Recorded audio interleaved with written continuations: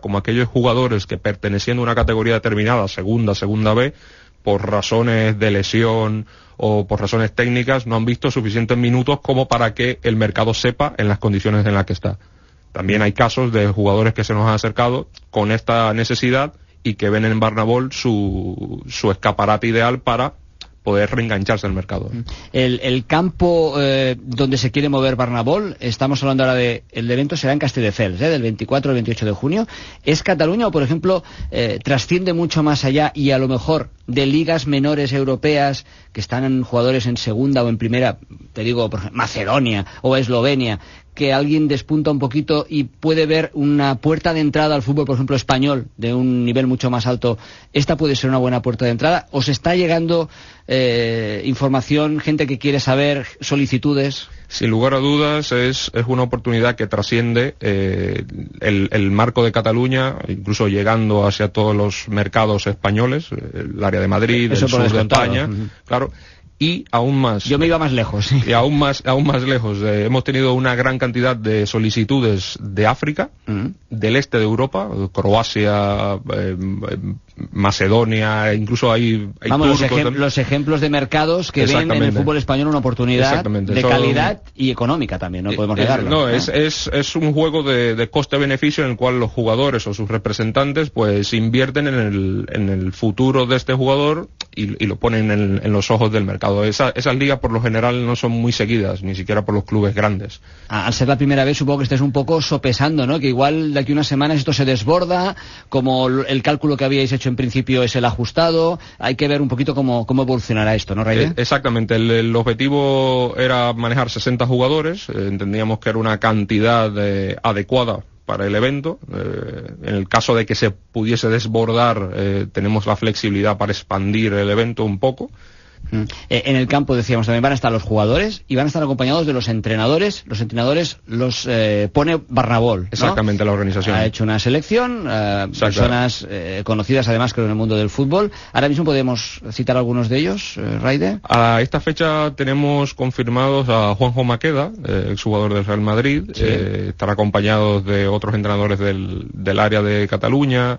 Estamos ahora mismo un poco debatiendo, hay muchos que están interesados, hay otros que estamos nosotros interesados, pero también hay muchos compromisos. Es época de campus, de, formación y sobre todo, para muchos de ellos es época de un contrato de trabajo, o sea, de poder estar en el mercado como entrenadores, eh, entonces eso hay que sopesarlo y por eso de momento no... Ese tema no está cerrado del todo. No está cerrado del todo, pero bueno, como... Pero la función, en todo caso, la función del entrenador en el Barnabol, que será contratado por Barnabol, por la dirección de Barnabol, para ejercer como tal, ¿qué deberá hacer? ¿Equilibrar esos equipos, dar minutos? Es, más bien, es más bien coordinar el día a día, o sea, lo que se tratará es de hacer entrenamientos generales y focalizados por, por áreas específicas de, de juego, y que estas figuras que, están como entrenadores pues coordinen el, sobre todo el tema de los partidos, de dar los minutos que se garantizan a los jugadores, eh, sobre todo tratar de ver el estado en el cual están funcionando esas plantillas y tratar de que todos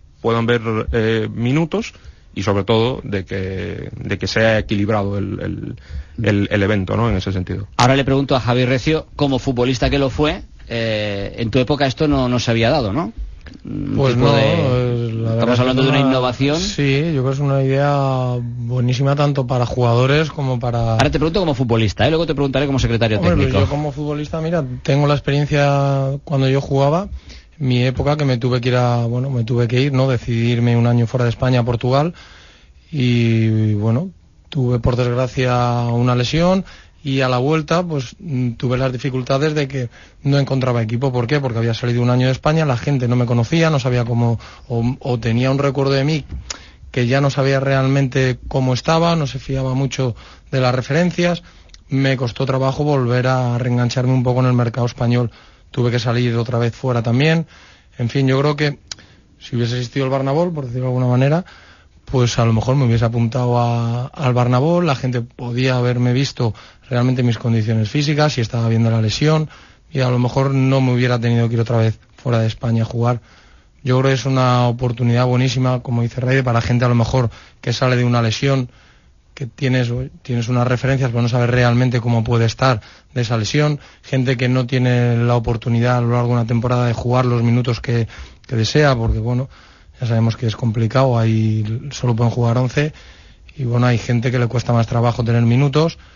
Y bueno, yo creo que es una buena oportunidad para esta gente, para gente de fuera que quiera venir a jugar a España, porque aquí en España también la mentalidad de, de hacer pruebas y bueno, pues ahí en ese sentido estamos un poco un poco cerrados a estos temas, entonces yo creo que la oportunidad para el jugador es, es buenísima. Luego, bueno, yo creo que va a ser la primera vez que se haga y va a ser un poco pues la referencia para ver si en el futuro pues eh, se sigue sacando Cuaja y, claro. y, yo a, a, mí a priori me parece una, una muy buena idea que además insisto ha funcionado ya en otras disciplinas deportivas y en otros países que como decía Raide pues en ese aspecto nos lleva ventaja como puede ser los Estados Unidos para los más jóvenes decía Raide que hay que tener los 18 años cumplidos para la gente que acaba de juveniles y cree que puede dar el salto y las ofertas que le llegan no le acaban de convencer ¿e-, ¿es también un, un buen lugar para mostrarse? Sí, yo creo que también es un perfil ideal ¿no? para este tipo de jugador bueno, no pues que acaba una división de honor, a lo mejor normalmente tienen ofertas, pero siempre hay alguno que a lo mejor pues Sí, pues que diga, oye, mm, voy o no a- le acaban de convencer o cree que puede optar a algo mejor. a jugar una categoría superior como la segunda B y oye,